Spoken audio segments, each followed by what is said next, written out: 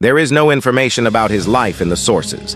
It is rumored that he entered the Ottoman palace in 850, 1446, and that he was of Albanian, Serbian, or French origin. Since her name is mentioned as Gulbahar bint Abdullah in a document dated June 1468, it is understood that she was brought to the palace as a prisoner or concubine.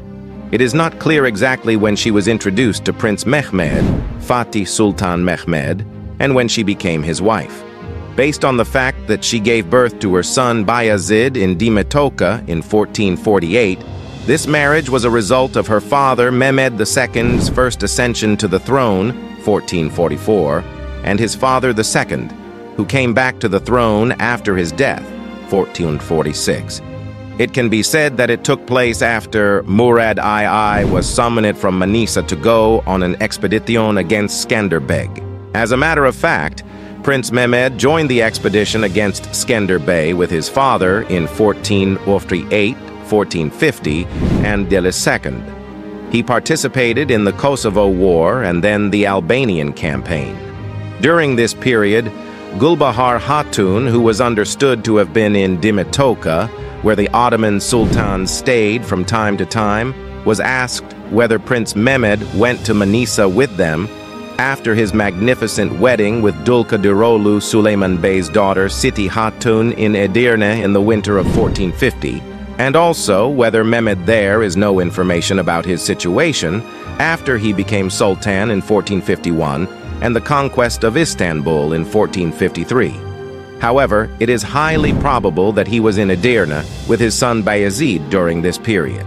It is known that he went with his son when he was seven years old and was sent to Amasya as a Sanjak lord in 1455 or 1456.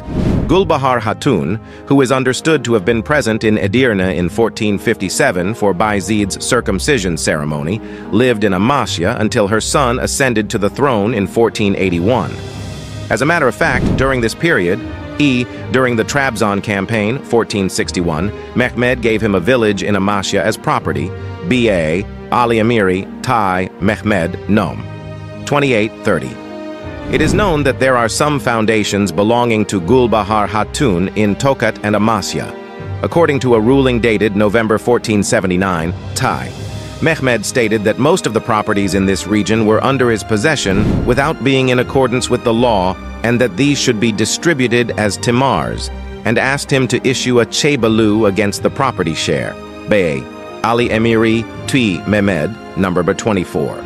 This situation, Tui, it shows his attitude towards his son, Bayezid, and Gulbahar Hatun in Amasya, the meeting center of the group opposing Mehmed. 2. Gulbahar Hatun, who came to Istanbul after Bayezid's accession to the throne, gradually increased in her influence and influence as the mother sultan. He even interfered in state affairs.